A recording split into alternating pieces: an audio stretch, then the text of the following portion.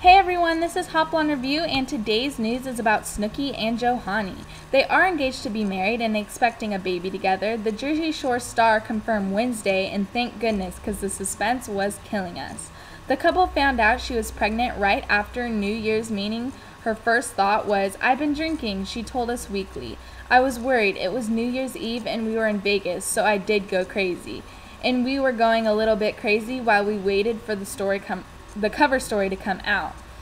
First, she stepped out Friday in a baggy outfit carrying a big purse, an outfit preferred by those trying to hide a baby bump.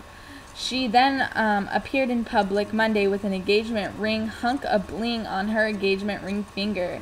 And check it out via. Thanks for watching and talk to you guys later.